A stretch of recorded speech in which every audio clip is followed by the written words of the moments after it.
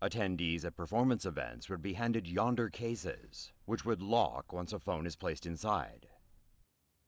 The attendees would be in possession of the cases at all times, but cannot open them inside the concert venue.